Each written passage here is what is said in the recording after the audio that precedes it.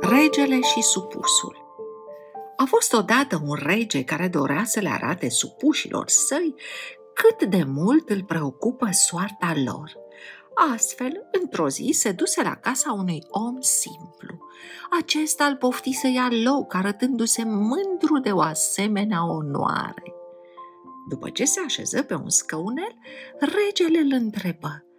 Unde este pământul pe care îl muncești? Du-mă să-l văd.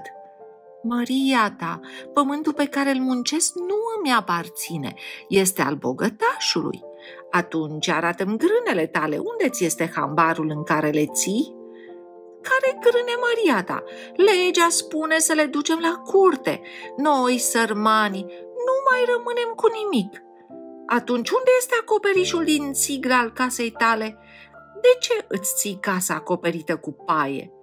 L-a luat și pe acesta boierul când și-a ridicat noul conac. Și soția ta? Ea, de ce nu mi-a ieșit în întâmpinare așa cum s-ar fi cuvenit?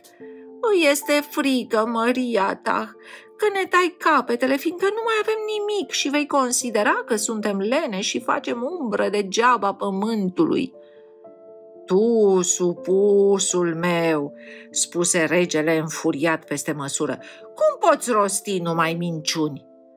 O, oh, Maria ta, dacă erau minciuni, te-ai mai fi înfuriat oare atât de rău?